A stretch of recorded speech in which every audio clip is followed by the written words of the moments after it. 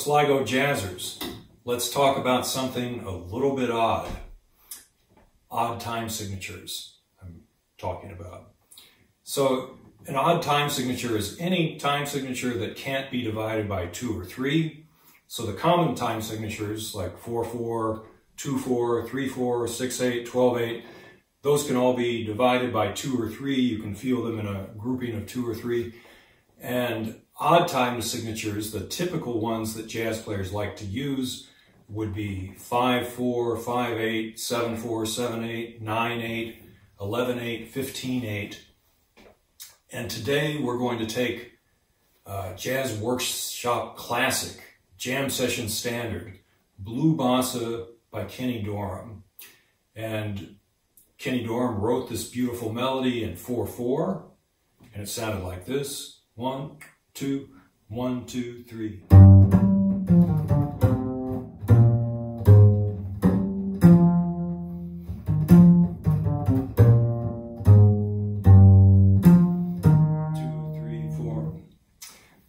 But we can take one beat off of the second of uh, every second bar and play this tune in 7-4, just for variety and to challenge ourselves and to get a different perspective. So in order to do that, let's think about a few different types of 7-4 subdivisions. You can think of the big seven, one, two, three, four, five, six, seven, one, two, three, four, five, six, seven, five, six, seven, or you could subdivide that with four and three. One, two, three, four, one, two, three, one, two, three, four, one, two, three. Or you could subdivide that with beat, uh, two beats, two beats, and three beats. One, two,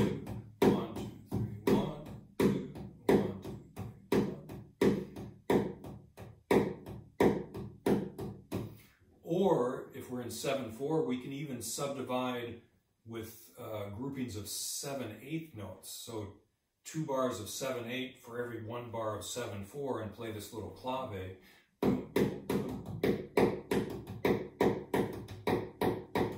So there I'm thinking one, two, one, two, three, one, two, one, two, three, one, two, three, four, five, six, seven. So all of those different ways of feeling the seven might come into play. Um,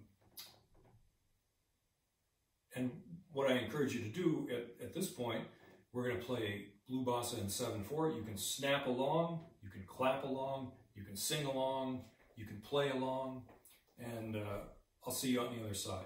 Okay, here we go. Blue Bossa 7-4. One, two, three, four, five, six, seven.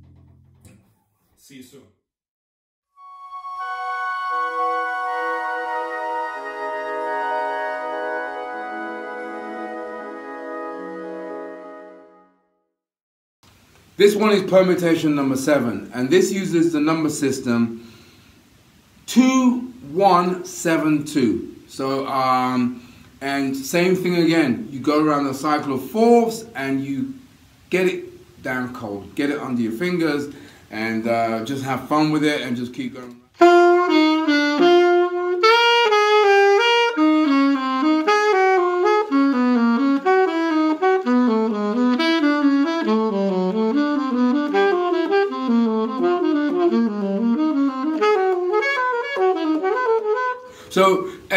Same thing again, you can climb up or go down and then just keep going around.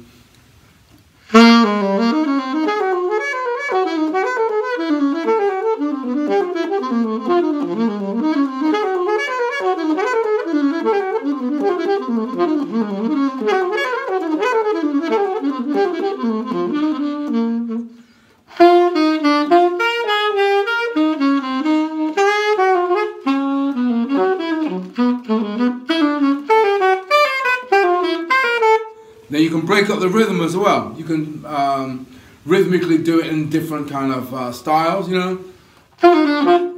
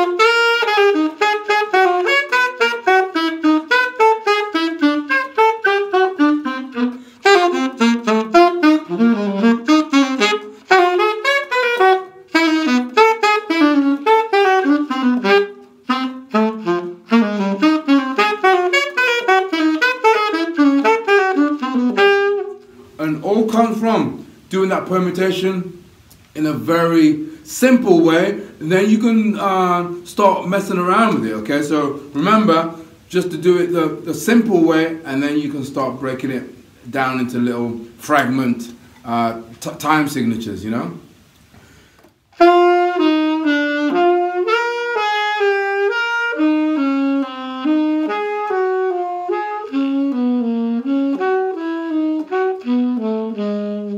So I always make my students do it this slow because once you do it that slow, you can get it under your fingers a lot quicker, and then you know when you feel more confident, you can start breaking um, uh, breaking the time down. So here's a random improv of uh, everything that we've talked about. Um, I'll go through the numbers, but not in uh, the right order, so to speak. Mm-hmm.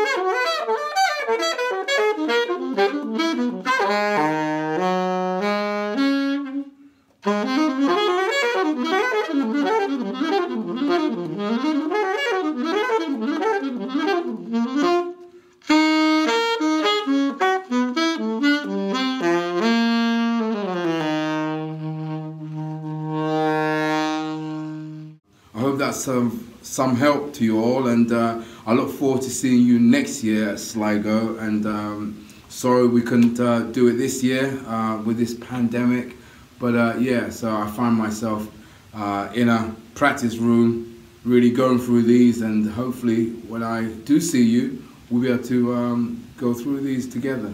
Alrighty, thank you, and goodbye.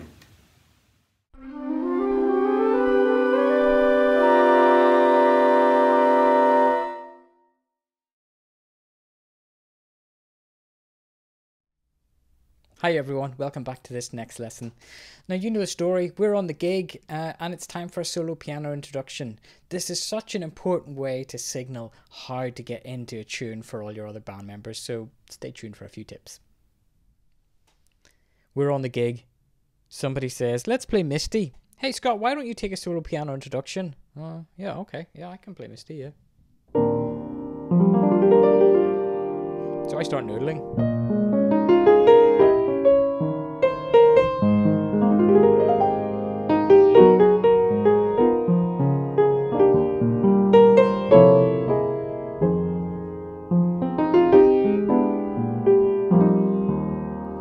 Come to the end of my introduction.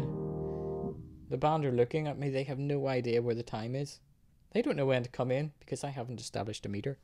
It's up to me, as the pianist, as the solo introduction, to make sure to introduce the sense of the, where the time is. Let's hear that again, and this time I'm going to make it super clear. So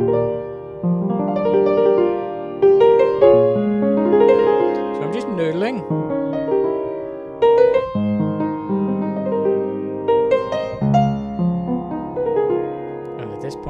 Bring in the time.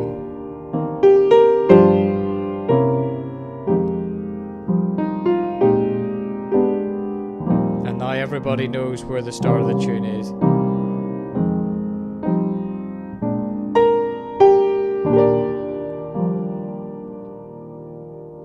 And it might seem like a very obvious thing, but it's really important to remember that. That it's clear to you where the start of the tune is, but you've got to remember the people that you're playing with don't have that telepathic understanding of exactly where you are. So make it super clear whenever you're coming up to the start of a tune. Hey, here's the time. I hope that was useful and you'll find it really useful to really let people know your intentions whenever you're starting a tune. You can never be too clear whenever it comes to expressing your intentions with music. Now, we've sorted the intro. We know the tune, we know how that goes. Let's talk about the ending. See you in a sec. We've all been there. You're coming up to the end of the tune, in this case, Misty.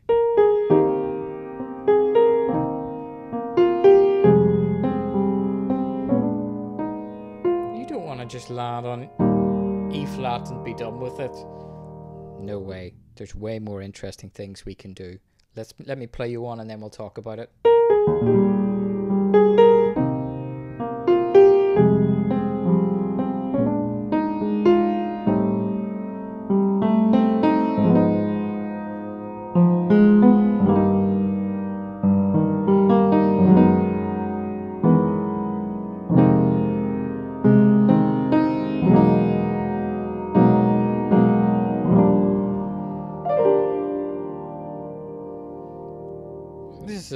Much nicer ending. So we go.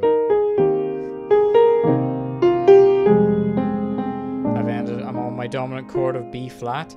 Rather than now resolving down to E flat, I'm going to go to A minor seven flat five. A flat minor six. Look at my top note, repeat it all the time. E flat over G. E major 7 over F sharp. Minor 7. E major 7. Sharp 11 if you're brave. And down to E flat. And what I love about this ending in particular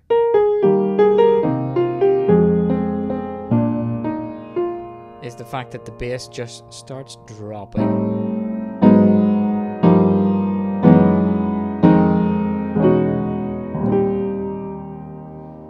I don't know if there's an exact name for this. I call it the flat 5 rundown because it starts on the flattened fifth, which is A, and runs down chromatically all the way down.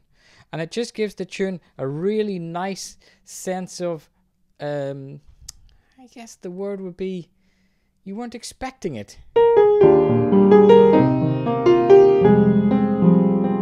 We're all expecting the E flat, but no.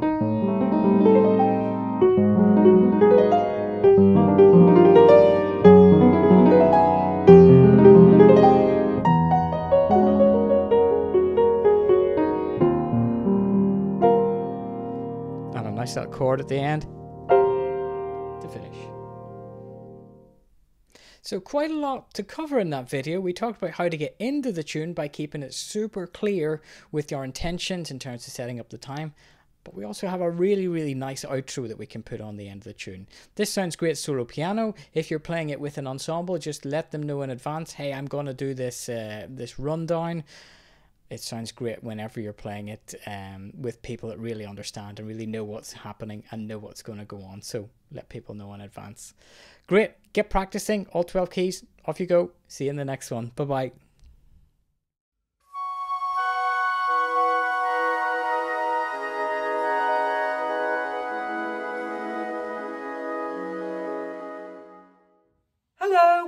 Back for day five, the final preparation before we learn the song tomorrow. And if any of you have guessed yet what the song is, it would be a miracle, but you might get it from today. Today we're going to have a look at um, something, uh, an exercise that has evolved from some of the bigger intervals in this song.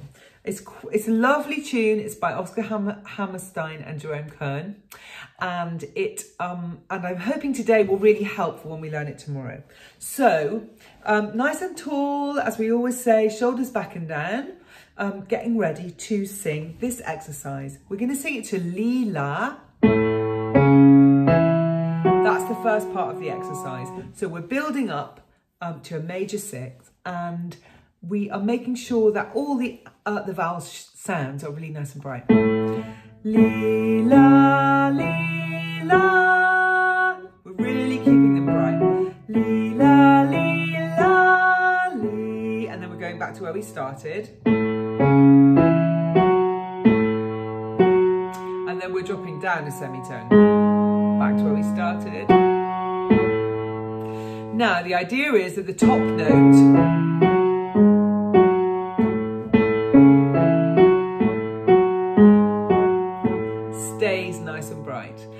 that we try not to make that jump between the two too much of a big jump. We're trying to imagine that actually you're actually singing.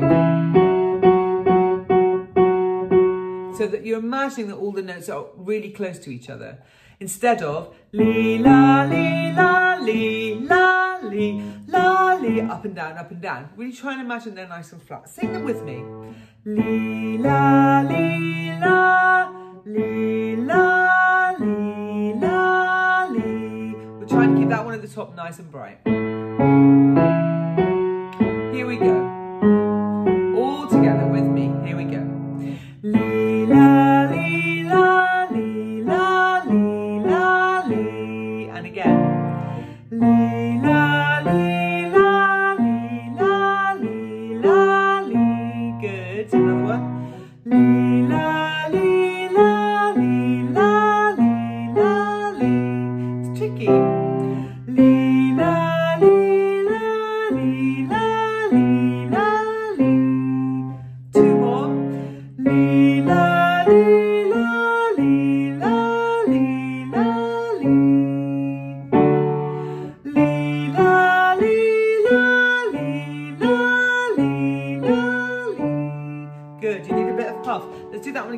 Our way, way down. Shoulders back and down.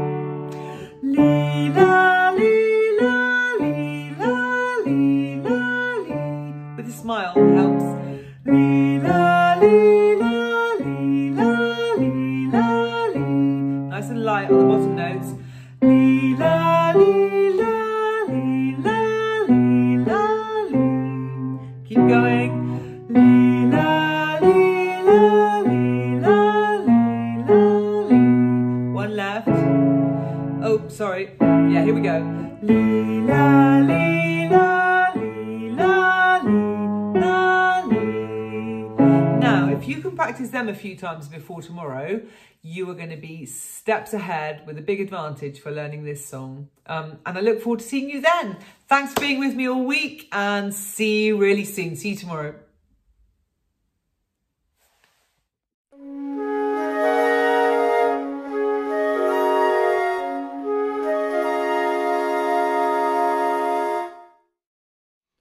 Hi this is Phil Robson with another um, micro jazz guitar lesson. Um, I thought I'd just think uh, today about some general stuff um, about you know playing solos and uh, just the techniques and stuff like that I use for playing melodies and guitar generally. Really, um, I'll just say super quickly if you haven't found uh, any kind of warm up yet, I'd really suggest you think about that. I use one called the Spider, which you can find easily online. There's variations of it too, but just something where you can find a way of focusing your hands with maybe a tiny stretch, but nothing, no crazy stretches, and go for slow rather than fast.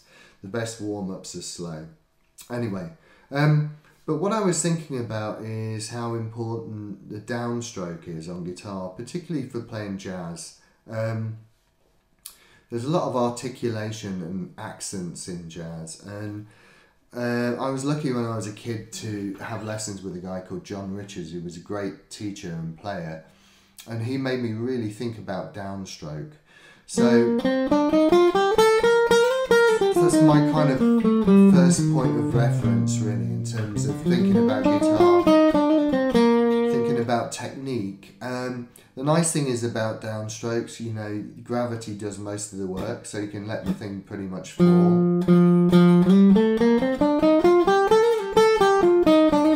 And you can start to develop a really big sound just using downstrokes.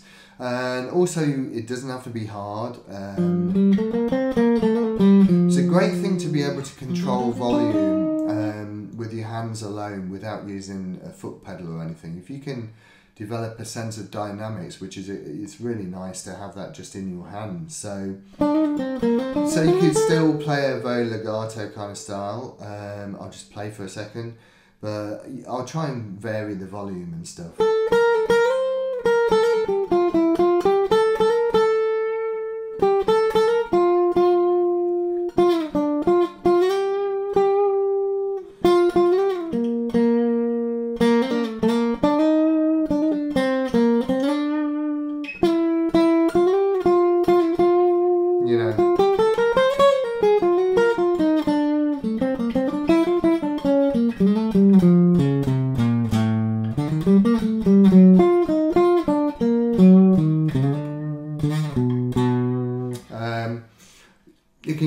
Much expression just using downstrokes, and when you do switch to up and down, I just what I do when I do that is I just even it out. So rather than this angle, I just pull it slightly back so the strings are more uh, a right angle. Um, but if you've worked on your downstroke, then you can you can push certain notes out so that they stand out.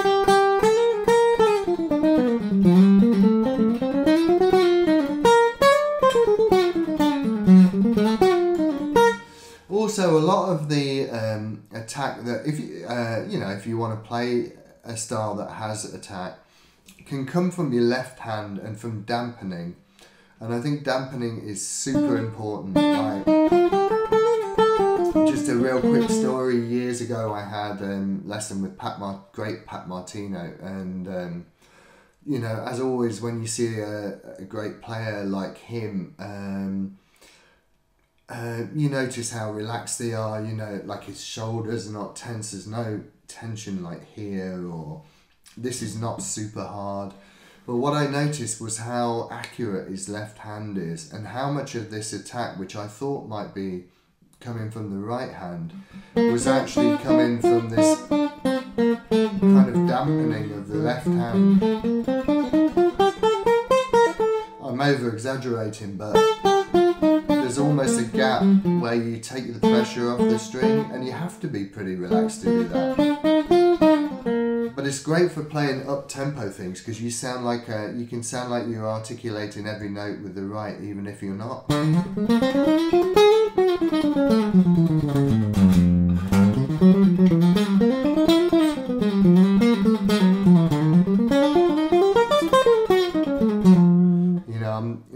Of things there, pushing some notes out with downstrokes, lot, lot of dampening, and then mixing the volumes as well.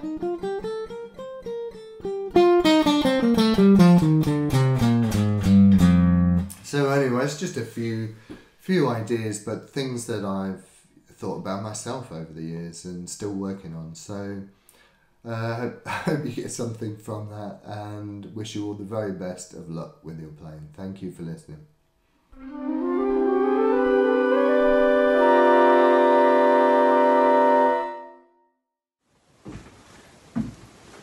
Let's look at other rhythms and cultures that have been absorbed into jazz.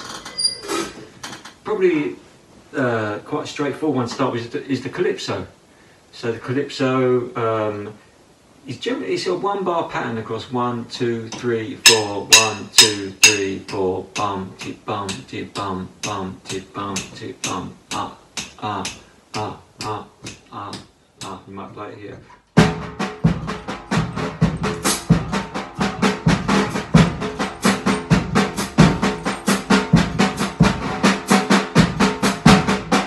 Mean, where you choose to play it is wherever it sounds good with the other instruments you're playing.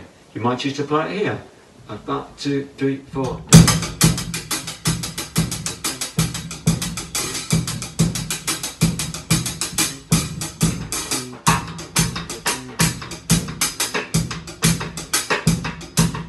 Just make the choices yourself.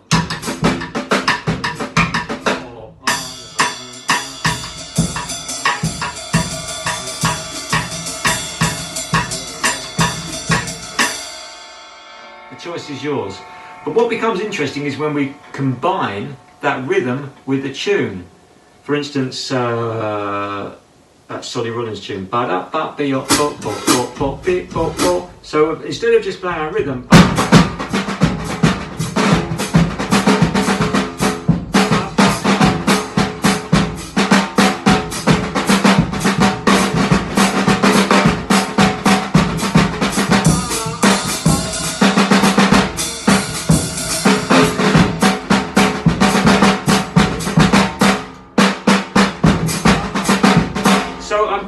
calypso rhythm, but also bearing in mind the tune as well.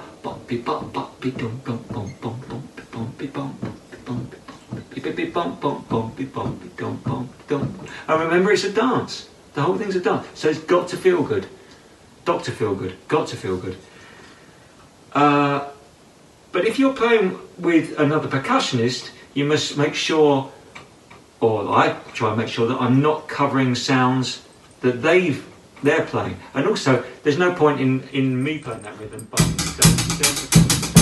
And then playing bum, di bum, di bum, bum, di bum, di bum. I might just play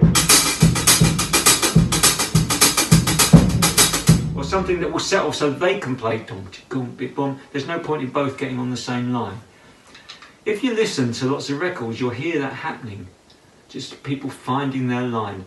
But it's really important, as I've always stressed, to remember the tune. If you know that tune, you can get away with not really knowing what rhythm it goes with, almost, because the rhythm is all in the tune.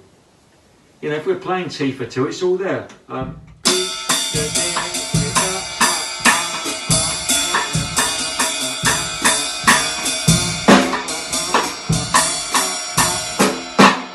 oh, no, cha cha cha. Uh, It's all there. It's limitless. It's up to your imagination. If you're singing that tune, you can play it any way because it will come out. Because these arms and these sounds you make here are your voice.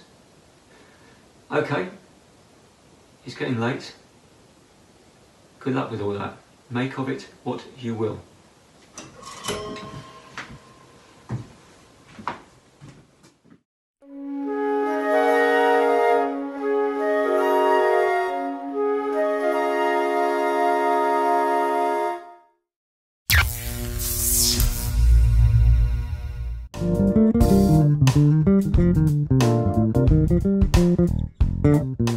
Hi there, I'm Federico Malaman and welcome to my channel. In today's practice along, my aim is to get you to play a simple solo. The exercise will be on the 251 harmonic structure and we will be using the notes of the major scale only. In this case, we will play C minor Dorian, F7 Mixolydian and B flat major. This means that we will be using just the notes of B flat major scale, B flat, C, D, E flat, F, G, A. The video is divided into three main parts. The first part is a listen and repeat style solo. I play a phrase and you try to repeat it straight away using just your ear. The second part is a full solo composed by all the phrases that we just played combined together. The third part is my own improvised solo using the same exact elements of the major scale. Before starting to play with me, I suggest you to download a PDF from the link below. It contains the first two solos. You will also be able to download the backing tracks that you can use to create your own improvised solo. If you are enjoying this video, don't forget to hit the like button and subscribe and let me know in the comments below what topic you'd like me to cover in the next videos. And now, let's go.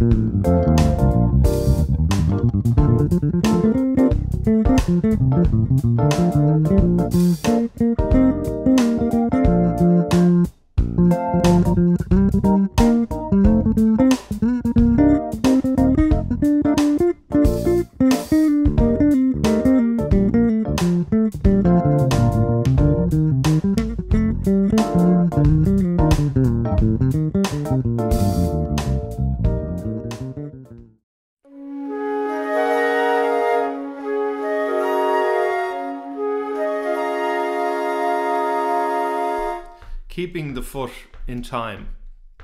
One and two and three and so I'm just keeping my foot going the pulse one and and and very important that you feel the and so the foot goes down one and two and three and four when your foot's up physically say and so even if slow it one and two and three and four So if I just wanted to play the ands.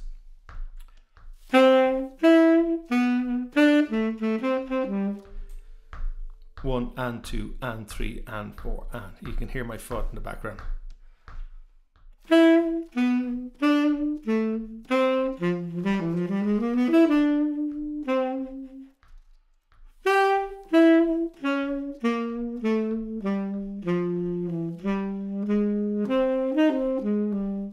So it's a really great way to keep your pulse going and also really not getting lost in uh, playing standards, original tunes, whatever it may be.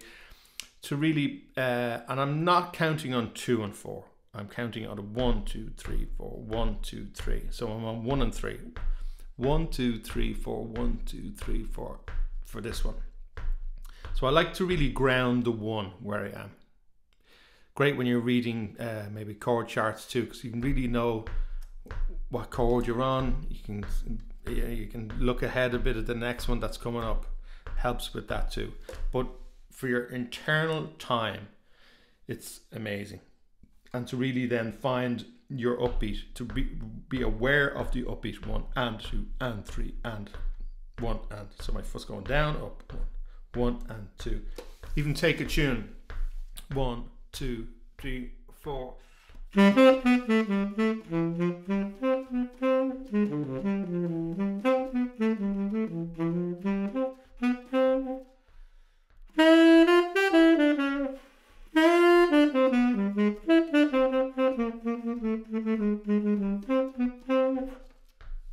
and two and three and four. So you can really play, even take a melody like that, St. Thomas, and just play around it.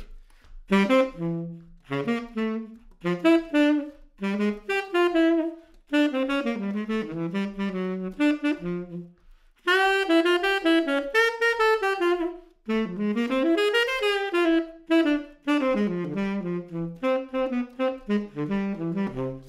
really grounds me where I am in a tune, or just for your pulse as well. Even if you decide just to play uh, free around it.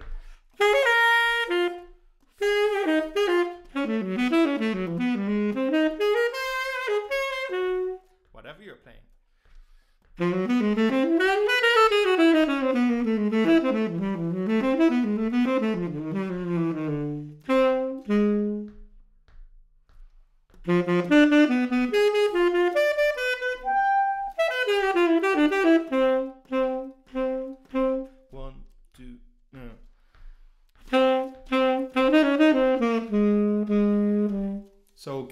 foot going. Really important. Um, gives you a lot more confidence as well as a as a musician.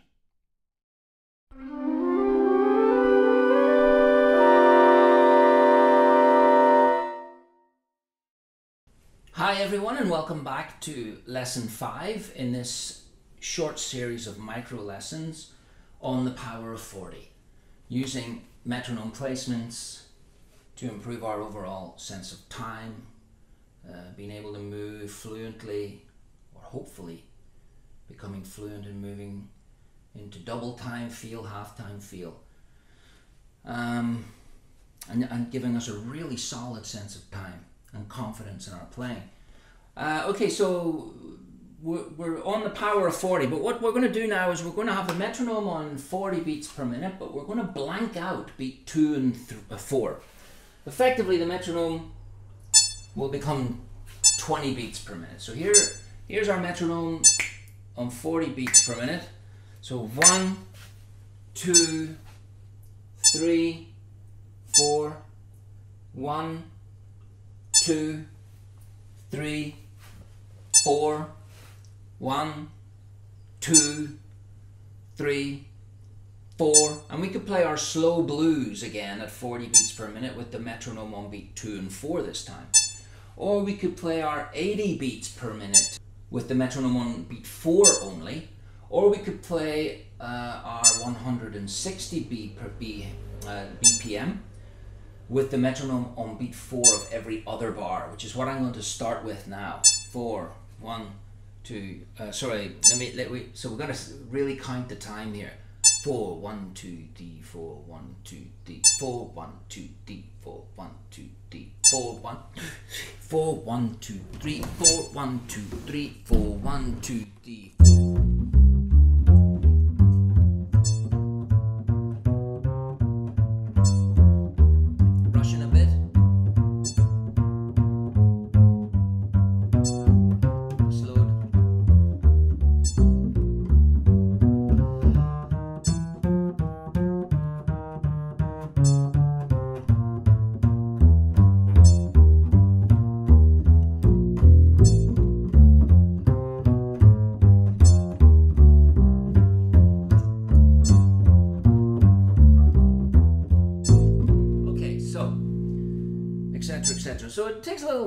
Before you really lock in. So there may be a little bit of movement, as we said before. Uh, that's quite natural. So now what we're going to try is the metronome on the same tempo, uh, but the metronome on uh, beat four of every other bar. So I'm going to blank out another one of these beats. So we're going to still be playing at 160 BPM, but this metronome is going to be clicking on beat four of every fourth bar.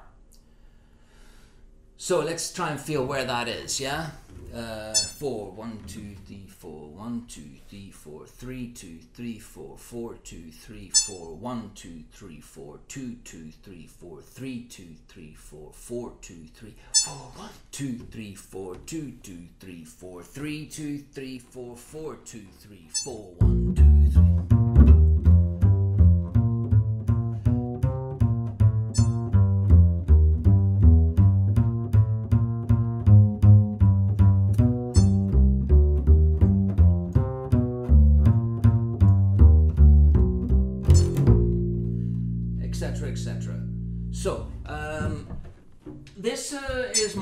complete uh, interpretation of the power of 40 and it's really helped my playing a lot um, and given me confidence in uh, uh, identifying my weaknesses first in, in time feel and then giving me a strategy to deal with it so it can be applied and you can be very creative with its application in, in, in, in any way you wish. For me, I use it on tunes and scales so far. Uh, maybe you can we can use it in compositions, uh, but it's really for you to uh, tailor make it to suit your own um, practice schedule. But anyway, I hope that you can get uh, as much value out of the Power of 40 as I have within my own playing. Thank you.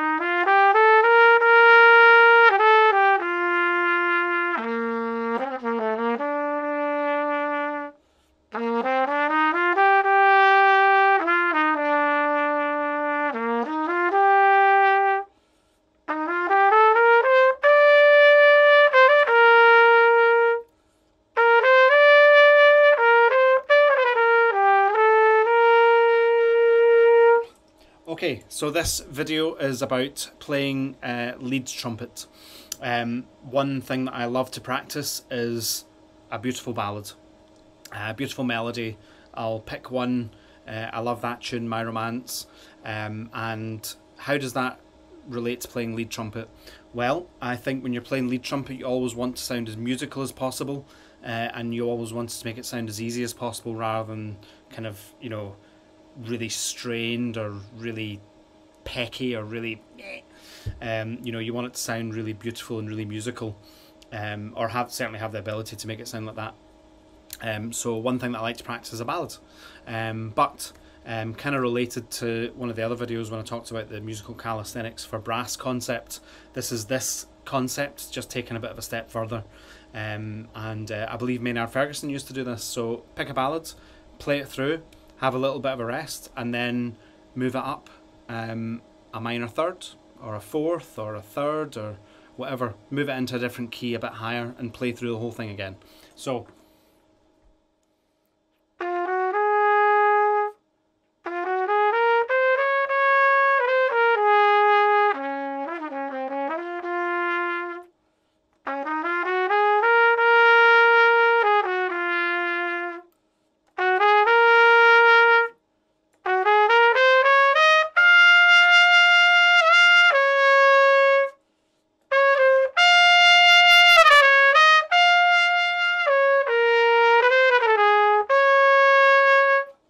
so that's in that key, and then have a little rest, then I'll move it up again.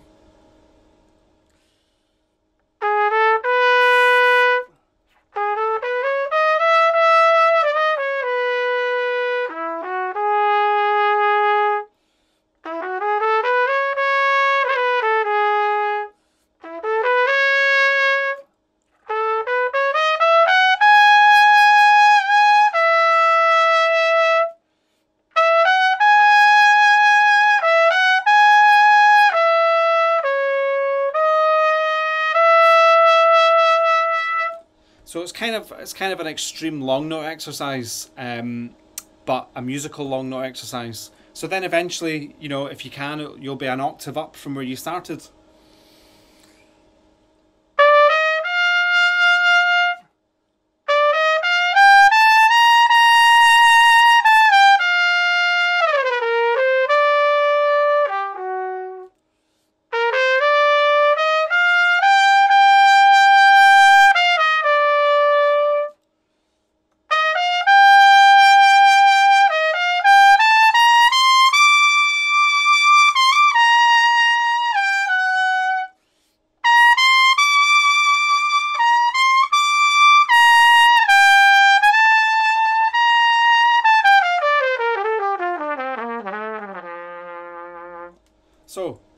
That's quite a nice way to build up uh, lead trumpet kind of stamina. Is do it in a really musical way, play a really beautiful ballad, take it through uh, through some different keys, and uh, just enjoy playing some nice music in different in different registers of the trumpet. So there you go. Hope that's been helpful.